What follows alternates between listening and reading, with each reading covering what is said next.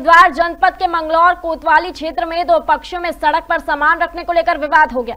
मामला इतना बढ़ा कि दोनों पक्षों में खूनी संघर्ष हो गया। सूचना मिलते ही पुलिस मौके पर पहुँची।